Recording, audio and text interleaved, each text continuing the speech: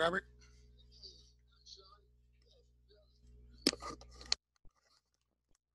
How about now?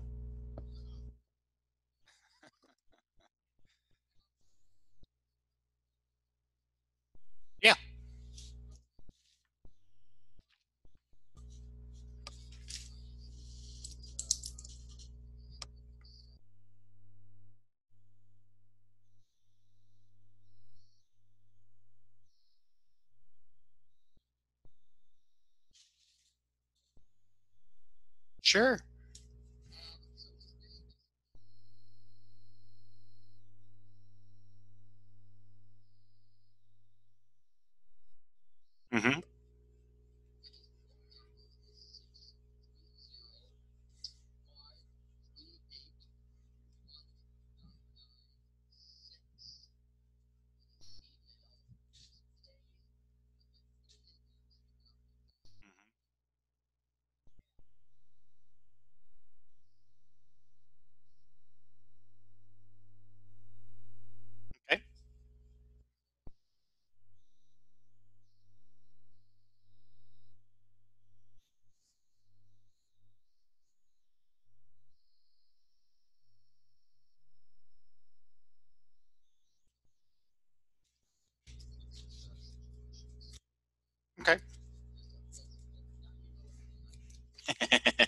Sounds good. I will uh, brush up on that, and I might get in touch with them after the webinar here.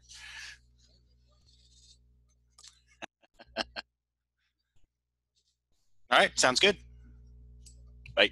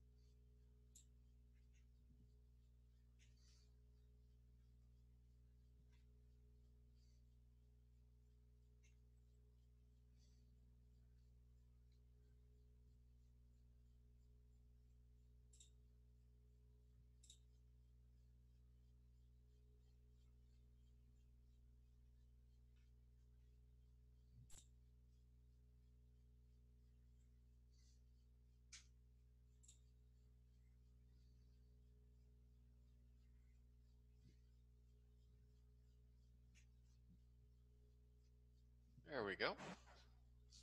There's audio. And video.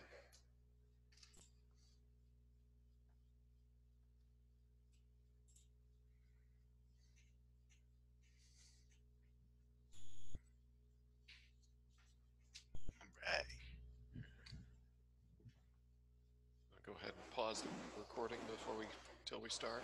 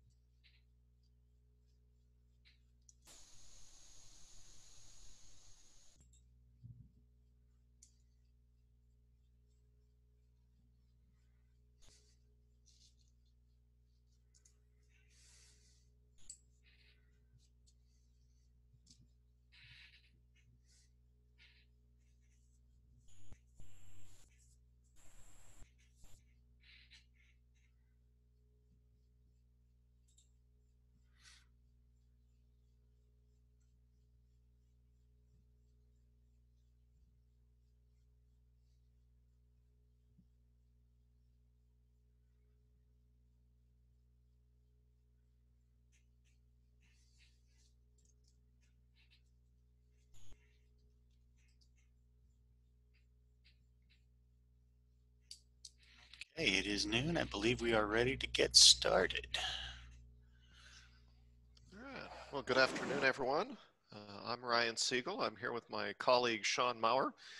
And today I'm going to be talking about uh, plan review and site inspection for the 2018 International Energy Conservation Code uh, pertaining to residential buildings.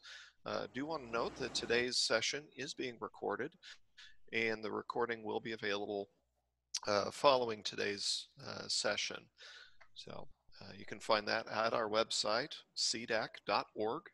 Uh, as far as uh, for those who need continuing education credits, all attendees today will receive a certificate of participation. in particular, if you need CEUs for ICC or AIA members, uh, please go ahead and send us an email uh, when we provide your certificate.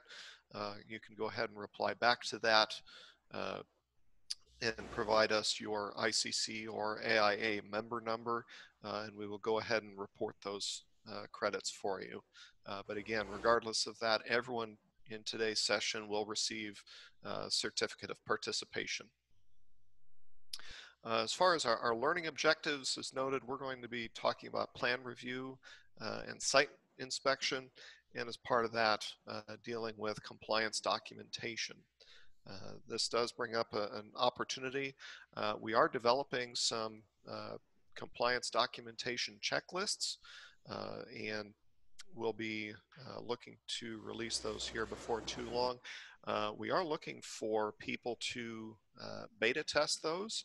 Uh, so if you are interested in being a beta tester for those uh, compliance documentation checklists, please go ahead and send us an email, energycode at sedac.org, uh, and we'll show that web address uh, or that email address again at the end of the presentation.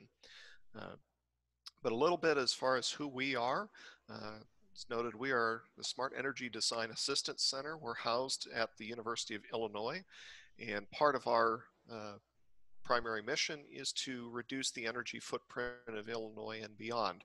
Uh, and energy code uh, training and assistance is one way uh, that we provide that uh, mission. I will note that today's session is being sponsored in part by the Illinois State Energy Office, housed at the Illinois Environmental Protection Agency, uh, and we are the code training provider for uh, the Illinois State Energy Office. So we do want to thank them for uh, providing uh, assistance with today's program.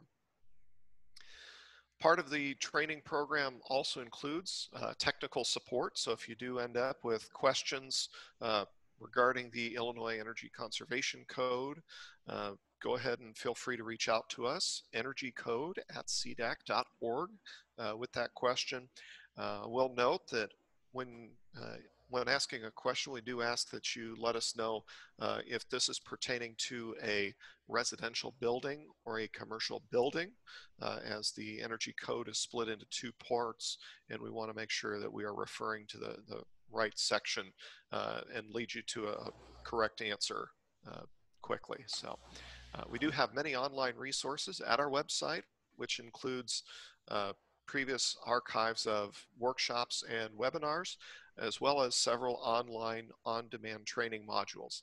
Uh, these are designed for uh, people who are less experienced at the energy code, so these could even be uh, potentially homeowners that could uh, take advantage of some of these in, in building occupants. Uh, so it doesn't require a high level of uh, code training to be successful and, and learn uh, using the training modules. Uh, they take approximately an hour to an hour and a half to complete each one. So uh, again, we have several resources at our online uh, website. So uh, as far as uh, access to the 2018 IECC, Illinois Amendments, and Chicago Energy Conservation Code.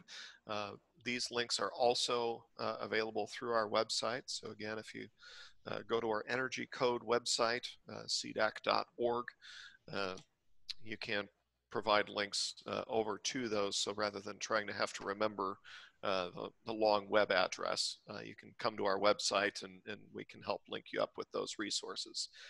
we do like to, to note that the International Code Council does make all of their codes available at no cost for viewing online, uh, and it actually has a very robust search function. So those are, are very uh, helpful to be uh, usable.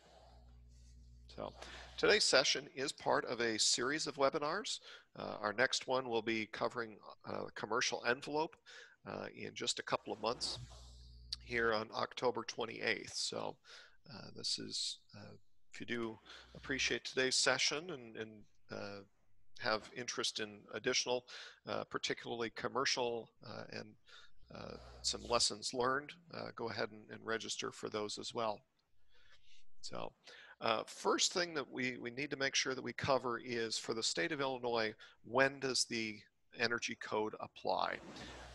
and for the state of Illinois, typically this is triggered by if a building permit uh, is required.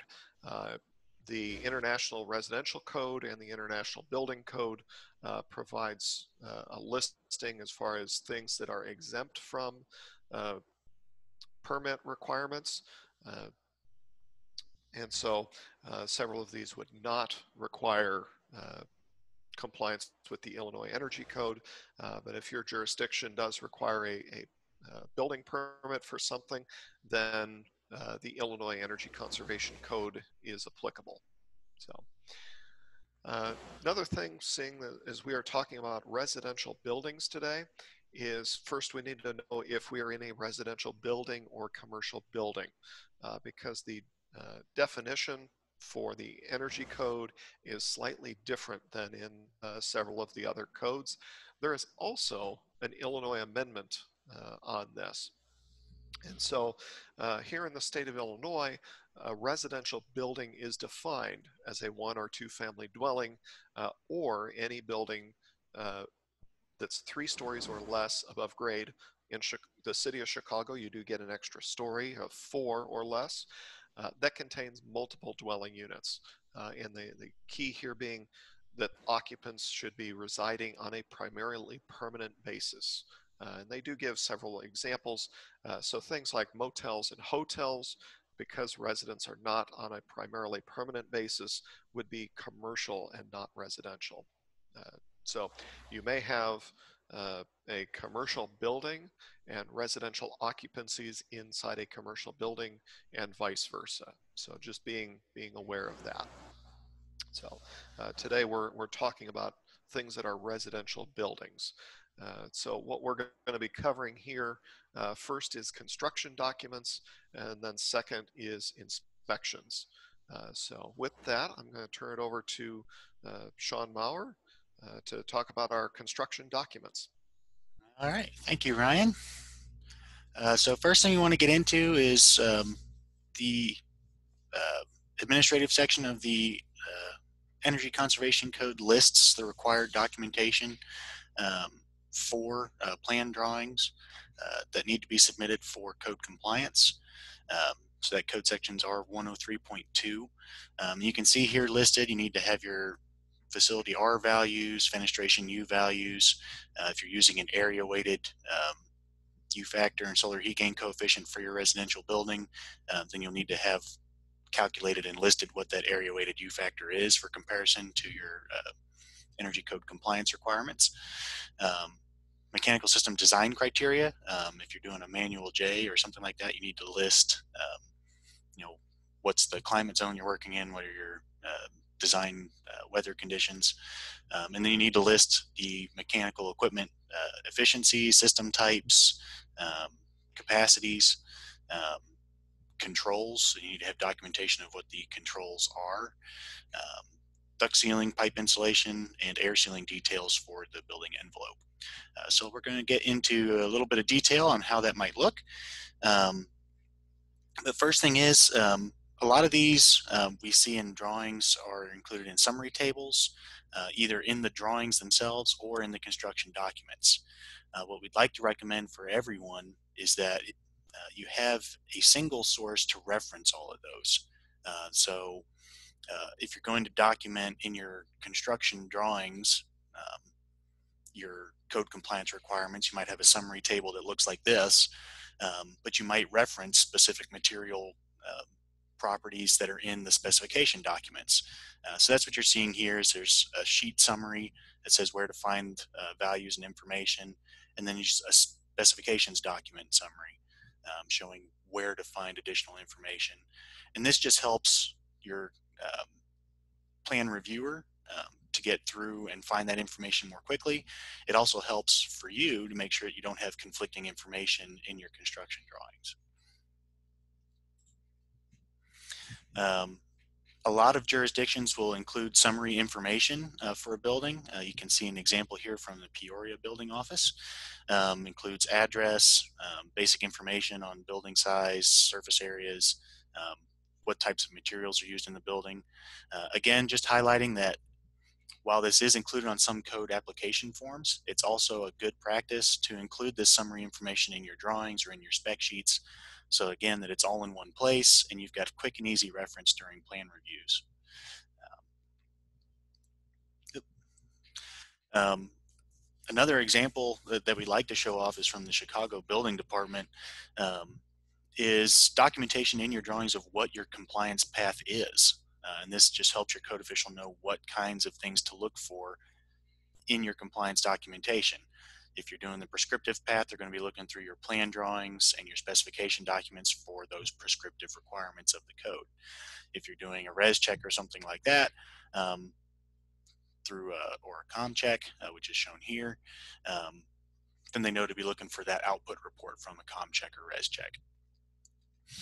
Um, and same thing for building performance method. They're going to be looking for a model uh, along with comparing to your drawings to ensure that your model and your drawings match up. And again, we like to see this uh, in the construction documents as well somewhere. So again, all your information is at a single source. It's easy to cross-reference. Uh, so let's get into what to actually uh, look for in a plan review for the building envelope uh, for residential building. So this is a good summary of uh, the materials for the building envelope. And we've added onto this um, a side table of what are the requirements per the IECC. Um, so again, you've got a really quick reference here. You can see my U factors are less than the code requirement, so I'm in compliance. Um, solar heat gain coefficients, uh, if they're listed, are higher um, or equal to and in, therefore in compliance, or sorry, less. So um, this is kind of a, an example of a summary table we've seen in some construction uh, drawings or specification documents. We'd like to see proliferate uh, more and it's a really quick and easy way to reference am I in compliance? Your code official can look at it and quick review. Um, and so it speeds up that review process. Um, if you are using the UA compliance path rather than a prescriptive path, um, the previous table would have been something along the lines of prescriptive path documentation. Um, we're showing an example report here from ResCheck um, output uh, showing that they are not in compliance because their uh, maximum UA value um, is higher than their code requirement. Um, but you can do this in plan drawings too um, if you're doing the UA trade-off without using a ResCheck or ComCheck, um, although it's more common that you're going to be using those um, programs to do this kind of calculation.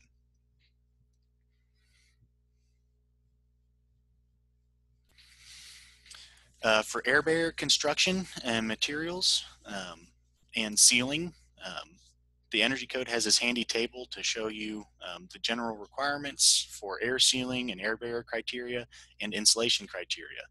Key things being that the air barrier needs to be continuous. Um, you can't have breaks. The joints have to be sealed in such a way that they're not going to be able to come apart over time. Um, and your air barrier and your insulation need to be in alignment with each other, need to be in close contact uh, in order to get maximum effectiveness out of them. Uh, so if you have um, your construction drawings, go through and make sure that your details for building joints, discontinuous materials are showing um, these kinds of details where you've got um, sealants labeled, um, ways to maintain the building continuity of layers. Um, and so we've got a couple examples of what that might look like. Uh, so here we've got a building joint between a lower wall, then you've got a floor subassembly coming out to the wall on the left side here, and you've got obvious marks that show where the sealants are uh, between those building joints and those uh, layers. So you're showing the continuity of the air barrier here. Uh, and same thing for the partition wall drawing on the right. Uh, you're showing the sealants at the joints, you're showing that air barrier blocking off between that partition wall uh, from the exterior wall preventing that air transfer potential. Um, so these are uh, some examples of what good air barrier details would look like for your residential drawings. Another thing that's important to show in your drawings is the alignment of your uh, thermal barrier uh, in the building. Uh, we found this particular example, this is uh, using a program called uh, Therm, I believe, um, showing that um, on the left side, you've got a window that's pushed all the way out to the outside of the wall. And you've got a discontinuity between where that window's thermal break is and where your thermal insulation is in the wall assembly. And it's resulting in that red arrow, arrow is indicating a high area of heat transfer. Um, and what can end up in this situation is in the wintertime, you could have condensation issues at this joint and over time, uh, degradation of those materials. Um, what you're seeing on the right side of the screen is if you line those up, you've got much less um, thermal transfer through that joint. Um, so it's important in your drawings to show this kind of detail as well. Not necessarily a therm model, but showing um, if you've got window assembly on top of a wall assembly, showing that that thermal barrier is lined up. Um, so just an example of some of the details that should be shown in drawings.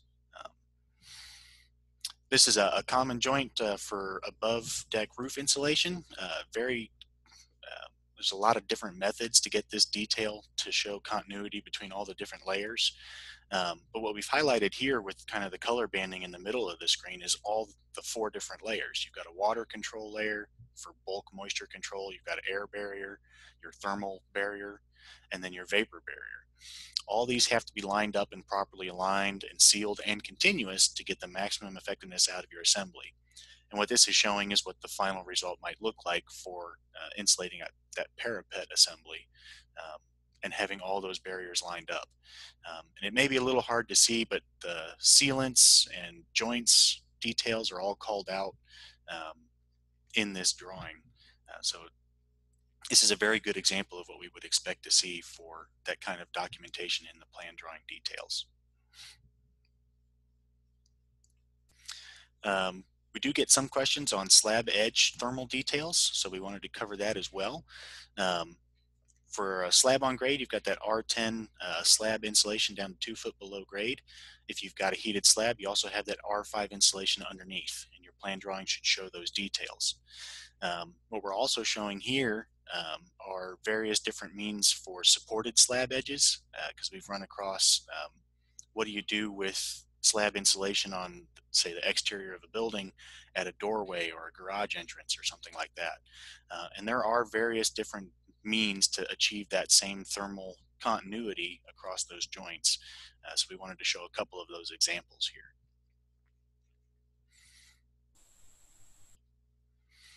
Moving on to our mechanical section plan review, uh, what are some details you want to include there? So again, we want to call out, um, as with that architectural summary where you've got a summary page um, for um, your materials and your compliance for that, you've also got a summary page for your mechanical systems. It's going to detail um, their capacity, their efficiency. Um, what we should also include in there uh, are your manual J design criteria for those systems. And we've got an example of what that summary table looks like at the bottom of the screen here. Um, you're going to include in there um, your location, um, what the design criteria are for uh, different weather conditions. Um, and the main thing the code official is going to be looking for there is does that line up um, with what should be expected per um, ASHRAE design criteria for the region that the building is being built in. And again, this is just a really good way to ensure all that information is documented in one place, uh, either on the plan drawings or in your specification documents. So it's really quick for the code official to find that reference material and confirm whether it's in compliance or not. Uh, system control narratives should also be included in your drawings. For residential, it's usually fairly simple as you've got a, a single thermostat usually. Um, for single family homes. For multifamily, you've usually got that single thermostat per uh, apartment unit. Um, and um, there's a lot more um, push now for these smart thermostats that do automatic programming and, and learning functions. Um, but it's important in those plan drawings to document what the initial conditions for those thermostat settings are, uh, what the initial schedule is um, for that unit to show compliance with the requirements in the energy code um, for those uh, controls.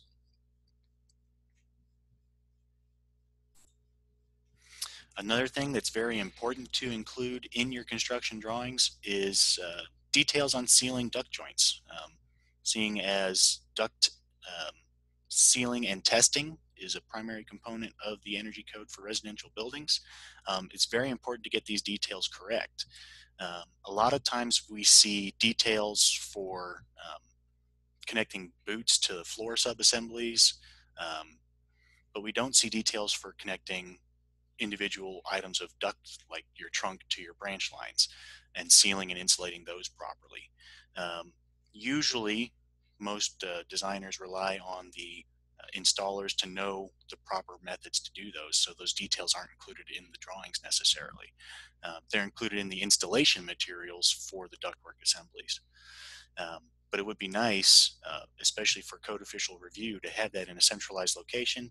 Include a couple summary images of how to properly seal ductwork, how to properly join ductwork, and we've included an example here uh, for flex duct, which is fairly common in residential construction, um, on how to uh, properly seal and join different joints together.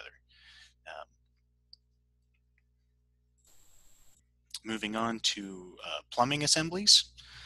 Um, again, what we're looking for here is um, documentation um, of specific things that we see uh, as common issues out in the field. Um, one of the things that we see a lot with uh, pipe insulation wrap is um, a lot of tension placed on that wrap as it's wrapped continuously around the piping and that causes compression on the uh, inner and outer layers of that uh, angled joint. What you're seeing here is a solution for that, uh, cutting miter joints into that insulation wrap to maintain that full R value. Um, but it's not often included as a detail in the drawings, and so it's very often missed in actual installation. Um, so including these kind of details in a drawing showing, you know, for insulative wrap on piping, you're going to want to include miter joints uh, to ensure that insulation is its full thickness and uh, working properly. Um, those are some details that should be added to your drawings. Um, other things to be aware of is identifying locations for those where that insulation is going to be necessary. Um, for mechanical system piping, you're going to want to be insulating both the suction line and liquid line on your AC units, um, especially inside the building where that hot uh, uh, suction line is going to be radiating heat back into the building that you're trying to cool down. Um, lines close to the hot water tank, um, they're going to be that three quarter inch or larger lines.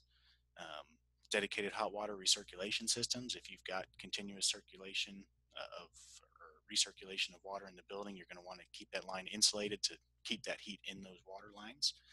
Um, so you're going to want to call out those locations as well.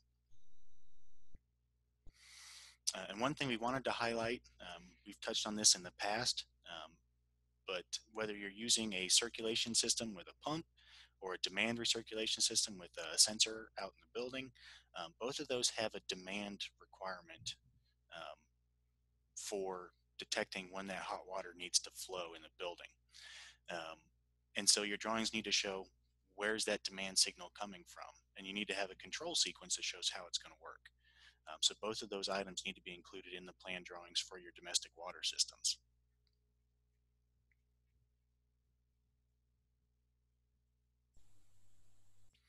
And finally, on to the electrical plan review. Uh, for residential, it's fairly simple as far as the energy code. You're wanting to document your usage of high efficacy lighting. Uh, what we've highlighted here is lighting that's in compliance and lighting that's uh, not in compliance with the Illinois amendments for high efficacy lighting.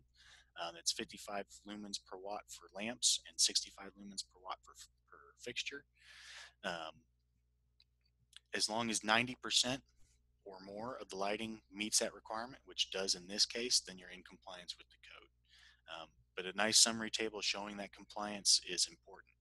Um, what we're noting here in this table is that since this is um, calling out the fixtures and not individual lamps, um, that lumens per watt needs to be in compliance with the fixture requirement, um, which is 65 lumens per watt.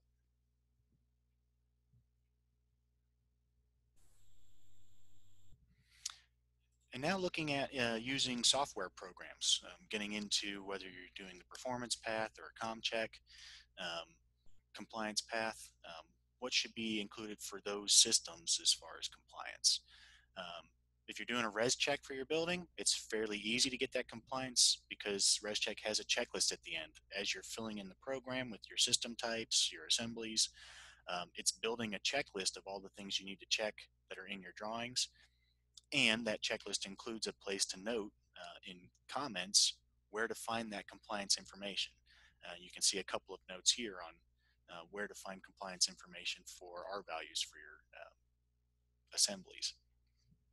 Um, so for ResCheck, it's a fairly simple process. It's just working through that checklist, filling in that information for that checklist, and filling in where to find that information in your construction drawings uh, or your specification manual. Um, one thing for um, a lot of buildings now that are doing uh, performance um, design uh, using computer modeling, um, we're kind of getting away from these rule of thumbs now. As our buildings have gotten tighter, um, we're adding more insulation. These rule of thumbs don't necessarily apply all the time. Uh, what we're showing here uh, is a, a sample chart from Energy Vanguard. The rule of thumb for most residential buildings is somewhere around 500 square foot per ton of cooling almost none of the buildings that were tested by uh, this group um, were down at that level. Um, a lot of them, the air conditioning sizing could be significantly less. Uh, you have much more square foot per ton because of the increased insulation and air sealing values. Um, so as we're doing modeling and things for buildings, we're getting away from these rules of thumb and we're getting more into the design process um, using uh, design manuals. Um, for residential, you do have to have a manual J load calculation for your building. And then using that manual J, you're going to do a manual S for your equipment sizing. Um, both those need to be documented. Uh, we touched on earlier for the manual J, you need to document your design conditions. Um, and we showed an example table of that uh, that might be included in the mechanical summary. Um, but you're also going to want to include those calculation reports in your compliance documentation.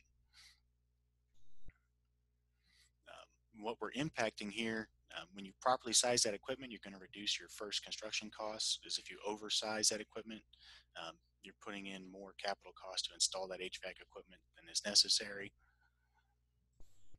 And uh, you're going to impact the comfort for the occupants. You're going to reduce short cycling of that system. You have better humidity control, better indoor air quality, better building durability overall, um, higher energy efficiency, and less callbacks to the contractor for customer complaints. Very important to get these sizing calculations uh, correctly done and then correctly documented so your code official can verify them.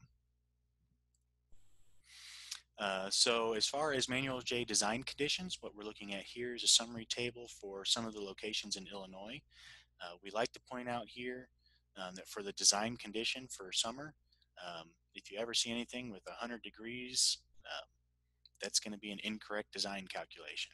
Uh, what we're showing here, um, for most places in Illinois, it's somewhere in the upper 80s to lower 90s for that uh, design dry bulb condition for um, cooling equipment. Um, Similarly, for winter conditions, you don't want to see anything like negative 10 degrees, negative 20 degrees.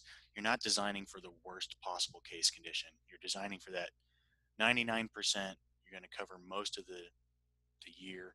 Um, and at those periods where you're outside that design, when it might be a snap freeze or a really hot period, your building thermal envelope and your systems are going to be able to mitigate that somewhat. Your temperature loss through the envelope is going to be slow enough that uh, hopefully your system will be able to maintain comfortable conditions uh, even when you're slightly outside those design conditions.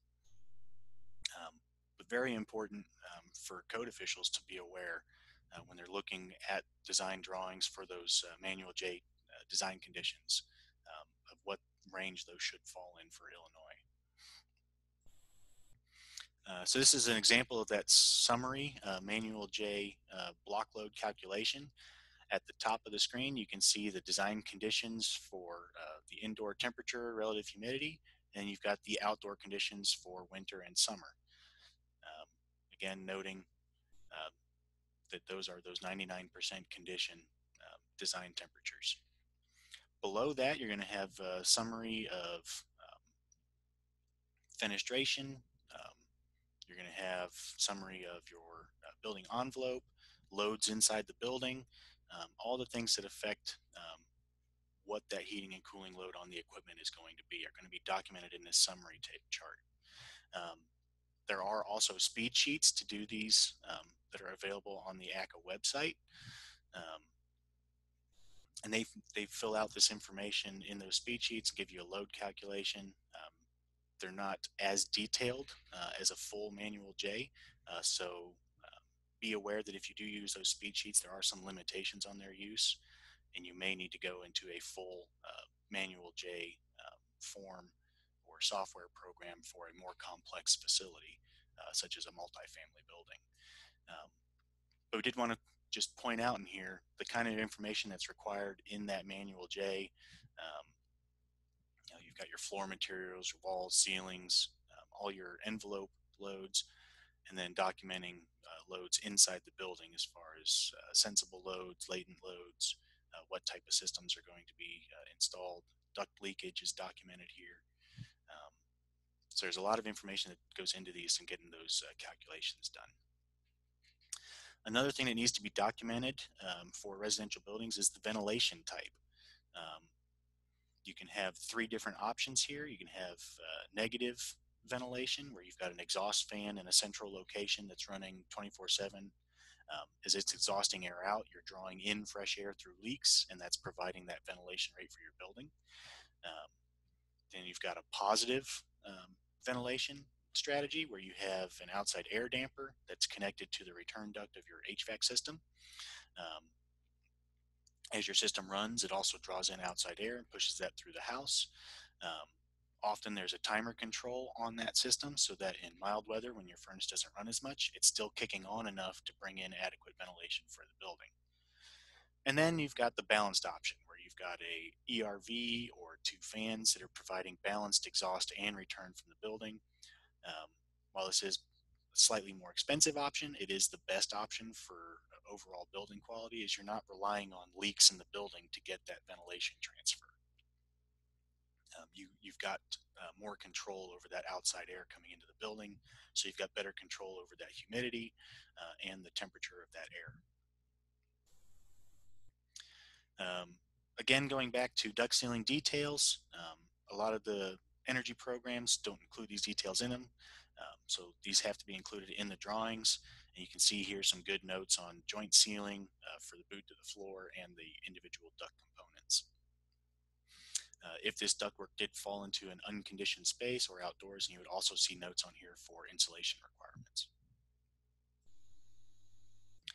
And finally, um, as with uh, the prescriptive path, if you're doing a, a, performance compliance path using software, you still have to document air sealing details, things like that. Uh, no different from um, your standard drawings. Um, but we're showing here some good call outs on, you know, the sealant is actually colored, so it's easy to spot where the sealant's at. Um, you've got coloring for the thermal barrier, so you can see it's in alignment. Um, so just some best practice details that we'd like to show there. And now I will hand it back to Ryan and he will go through the residential inspections. Well, thank you, Sean. Uh, before I, I, tear down the path of inspections, uh, just want to remind people that there is a question and answer function uh, built into the platform. So if you hover, hover uh, around the top or bottom of your screen, you should see uh, a, a uh, icon that will say Q&A.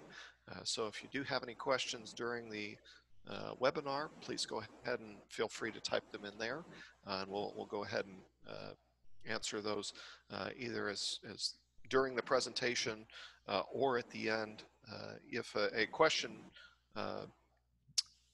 if we're not able to get to your questions today, we will go ahead and follow up after the webinar with a, an answer to that if we don't get get those questions answered today for you. So.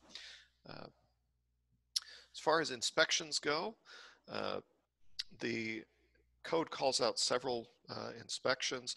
Uh, many of these occurred during the process uh, of inspections uh, for other purposes beyond the energy code. Uh, so one of them to start is the footings and foundations.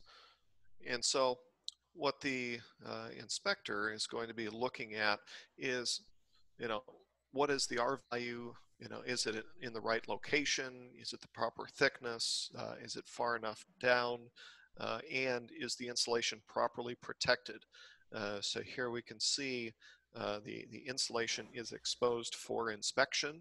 Uh, in this case, uh, you know, I, you're easily able to measure that and the protection in this case uh, may not be installed yet uh, because the protection may be uh, the earth going to be uh, reinstalled uh, up against that insulation. but being aware that if there is supposed to be protection called out in the in the drawings or you know insulation that needs to be protected, is there a method in place or, or foreseeable uh, to be installed uh, for there. So uh, ResCheck actually does a, a very nice uh, depiction as far as uh, for basement walls, as far as how that depth of insulation is measured. Uh, and uh, we will note that for basement wall insulation, there is also Illinois amendments to this, which does allow you to trade off not uh, installing as deep of insulation if you install more insulation. So looking to uh, trade off some of that performance uh, by allowing you to uh, provide higher performance uh, over a smaller area. So uh, we also do note here that ResCheck does not have the amendments for Illinois built in, so it is possible to have a uh, compliant foundation uh, where ResCheck may not give it a passing grade. So uh, one of the limitations uh, to be aware of. And so uh, if you are falling into that gray area, make sure you're, you're calling that out uh, so when the, the plan reviewer is looking at it, they they're aware of what the situation is and, and you're acknowledging that up front. So uh, next inspection that the energy code calls out is uh, for framing and rough-in. So here we're looking at uh, our insulation uh, for our framed facility. uh, whether that's attic insulation, wall insulation, uh, and it even just calls out all the different uh, properties. One of the biggest uh, issues that we can uh, run into is uh, this fenestration sticker. Uh, on the residential side, we don't see uh, too many where it's it's been missing, but on the commercial side, that can be a very large issue. but making sure that you know these stickers don't disappear before the inspector uh, makes his way through because uh, this is part of the inspection for uh, framing and rough-in checking the windows uh, and, and, the fenestration values, uh, air leakage, U values, uh, solar heat gain coefficients, and the like. So, as far as insulation, the other thing they're going to be looking at is ins uh, insulation installation uh, and the details were things uh, properly insulated do i have missing insulation where you know I, I, didn't quite have enough to fill the cavity uh, and so, you know, I, I kind of made it stretch to try to fill it uh, rather than uh, filling it in with an additional piece of insulation. Has it been compressed? Did the, the, did the trades when they were coming in after the insulation go ahead and just, you know, cram their, their pipes and wires and ducts over the, on top of the insulation rather than properly splitting the insulation around it. Uh, so being, being aware of that, so checking for those details. Uh, also during the framing and rough-in, this is when they're going to be checking for your blower door test. Uh, this is required for all new construction uh, for the state of Illinois and has been for some time. Uh, and uh, noting here for the state of Illinois, it's four air changes per hour at a pressure of 50 pascals, uh, whereas the uh, International Energy Conservation Code uh, for this climate area would be three. So uh, Illinois does have a, a, little bit less restrictive on that.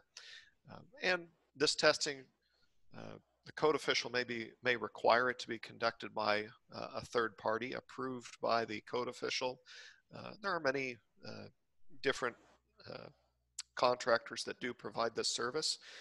if you're having difficult time finding one. Uh, one valuable, uh, potentially valuable resource would be to reach out to your local community college and see if they may be able to uh, assist or, or point you in the direction of uh, who may be able to do this. Uh, because many community colleges have uh, have or have had weatherization training programs in the past, so they may have some additional information for you.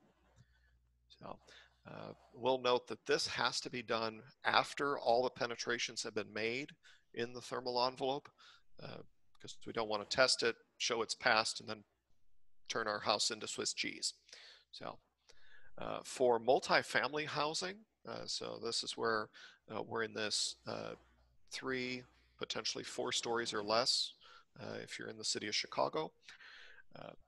low-rise multifamily, Illinois does allow a volumetric or a, a, surface area measurement rather than a volumetric measurement.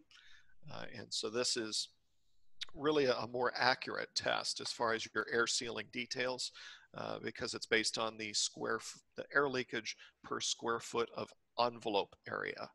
Uh, so uh, that's really testing the, the effectiveness of the air sealing in based on per square foot of envelope area. So uh, do call that out. This is an Illinois amendment. Uh, I believe this is going to be uh, coming uh, for more widespread use uh, across the country here in the next code cycle. So uh, covers our, our roughing, our, our, framing area. we'll note that yes, the slides will be available after today's presentation, along with the recording of uh, today's presentation. So.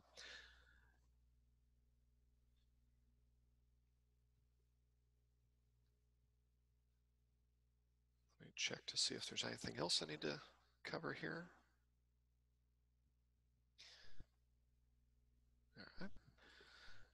Uh, as far as the plumbing rough-in, this one, the uh, inspector is going to be checking for what is your controls for uh, hot water. Uh, we note here in the picture on the left, this would not be acceptable uh, because as Sean noted earlier, one of the requirements for uh, plumbing circulation is uh, a demand signal for hot water. so it cannot be just strictly time-based. Uh, for a demand signal. There, there has to be either a draw of hot water or some other uh, indication by the occupant, uh, some sort of interaction uh, noting that, that they're going to uh, be needing hot water imminently. So it is something that, that we do need to note is having that, that control sequence in there. Uh, they're also going to be checking for your uh, plumbing insulation and R values uh, and making sure that that insulation is properly protected. Uh, so if it's uh, exposed to, to likely to be exposed to physical damage, is it properly protected to avoid damage into the future, be that crushing or, or being cut or some other damage to it. Uh, they're also going to check for is it in the proper locations. Uh, this is a common area that's missed uh, is mechanical piping. Need to make sure that we insulate both sides of this uh, inside the building. Uh, typically the cold line is insulated because it will sweat otherwise, but the hot line is commonly missed because that, that hot line will reach temperatures higher than uh, higher than 105 uh, during design conditions. This also needs to be insulated. So, and we want to make sure that we're protecting any exposed insulation uh, from any weather where it's located outside the building. Uh, this is a little less common, but if we do have uh, service water heating or HVAC uh, that is serving multiple units, then the energy code refers us over to the commercial provisions rather than the residential provisions. So. As far as mechanical rough-in, uh, this is where the inspector is going to be checking for equipment type, size, efficiency. Do we have controls in place? Are they programmed uh, appropriately? Uh, do I have any uh, any ductwork R values, uh, duct leakage testing, uh, and the like? So uh, here noting they're, they're checking not only the controls, but the units and their, their efficiency and the ratings. Uh, this is also something where they may check it against the uh, manual S that was done in accordance with the manual J and say, okay, you specified that you were going to put in an 80,000 BTU furnace. Is the furnace that went in an 80,000 BTU or less? Uh, so did we did we size it as you uh, said you would? So uh, duct sealing, uh, Sean noted earlier in the in the drawings is very important to uh, have these details as far as where and how to duct seal uh, and verifying that that this was actually done. Uh, registers and boots, you know, joints in the ductwork, uh, and then also our duct leakage testing would come around this time as well. So again, for HVAC, this will be very similar. Uh, if you do have HVAC serving multiple units, we're referred back to the commercial provisions uh, rather than the residential provisions. So, uh, then we get into final inspection. Uh, this will cover anything uh, that may have been foregone earlier. did get a, a, few comments in as far as the timing of the blower door and duct leakage testing. some jurisdictions may uh, move some of those around and, allow you to provide the results towards the end. Uh, the important thing to, to note is when you're doing envelope sealing and duct sealing is if you wait until the very end to do your envelope sealing and you are unable to pass, fixing that can be very difficult. Uh, so you want to test it as soon as you can uh, after uh, the envelope is, uh, is complete and the penetrations are made uh, such that if you need to make repairs, uh, they will be as easy to do as possible. Uh, the other thing they're going to look for at final inspection uh, is looking at uh, high efficacy lighting fixtures. we'll as Sean noted earlier, for Illinois, 90% uh, have to be high efficacy lighting fixtures. So on the left here, we see a ceiling fan, which is a single fixture with three light bulbs in it. Uh, and so the the 90% is based on the fixture count, uh, not the bulb count. Uh, so something that's a, little bit of a nuance there. So uh, we don't find too many difficulties meeting uh, high efficacy lighting uh, fixtures these days. Technology has, has advanced and costs have come down to where it's fairly prevalent. So uh, with that, we'll, we'll take any additional questions uh, that you may have today. Uh, otherwise, if you do come up with other questions that you do have later regarding the Illinois Energy Conservation Code, again, feel free to reach out to us, uh, energycode at sedac.org. Uh, with that, Sean, do we have some questions here we need to talk about? Let's see. Um, you did address the couple of comments on timing. Um, framing and rough inspection uh, was noted that that is uh, for air sealing, and they're also looking at whether you're meeting your load bearing requirements for your framing, things like that. Um, and the insulation inspection is a second one that's done after uh, verification of the framing and air sealing. Um, so thank you for that note. Uh, it is good for us to to have that information. We will update our slides accordingly. Um, we did get a question about uh, can a residence provide heating for an exterior walk or driveway? Um, that is allowed. Uh, there are code required controls for that uh, type of system. Um, I will look that up briefly. Uh, snow and ice melt systems um, must have uh, automatic controls capable of shutting off the system when the pavement temperature is greater than 50 degrees and it's not precipitating, uh, and an automatic or manual control that allows shut off when the outdoor air temperature is greater than 40 degrees. Um, so you can have outdoor heating systems, um, but they do need to have those automated controls so that when there's no risk of freezing uh, or slick surfaces, um, that heating system is off.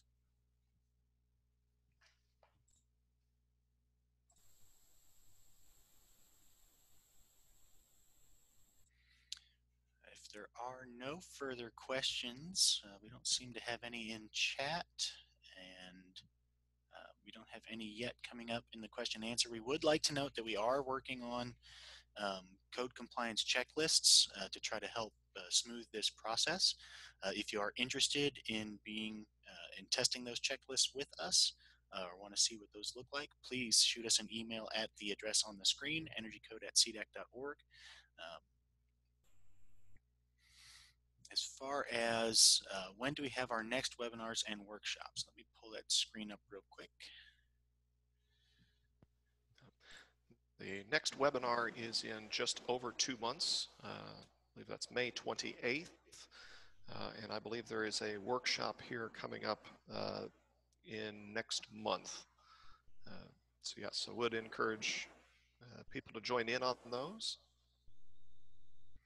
Um, and I will note uh, these dates are no longer tentative, they are firm dates for the uh, future webinar series. Um, so uh, we have confirmed all of these dates. And the, the next workshop is going to be talking, diving further into key items for plan review uh, for the 2018 IECC residential, and that will be uh, Tuesday, September 15th at 1 o'clock. So that's uh, being that that's a workshop, that'll be an hour and a half. Uh, so it'll be taking a much deeper dive uh, into uh, that half of today's presentation.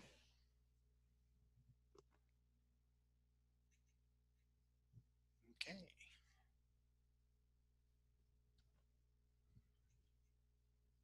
Seeing as we have no further questions coming in. We would like to thank everyone for attending the webinar today.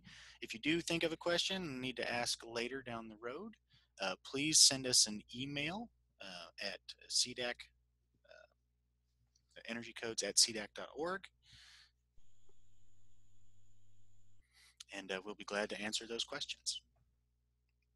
Thank you very much.